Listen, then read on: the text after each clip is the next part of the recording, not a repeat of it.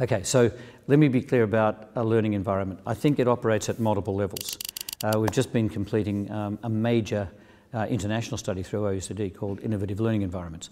And we've got some fantastic examples um, of uh, creative, vibrant, amazing uh, learning environments with young people actively engaged in real work, applying that work, having real audiences, consumers of their products and services. I mean, and by the way, of course, this varies from early childhood through stages or ages. But in many ways now, we are seeing learners combining together across age groups. And so we've got learning environments that are like schools, there's a lot that are not like schools in the way in which we might have thought about it. So if I use the word school now, I want to think about it in multiple ways.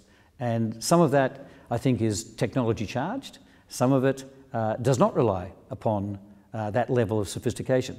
But in addition, there's other levels of learning environments now. We've got systems and subsystems that we've been talking about. And my reference to an ecosystem was to say, can we now see learning environments as being the places where, going back to the opening question that you asked me, what are we trying to nurture, grow, and develop? And can we have environments that are really supportive of young people?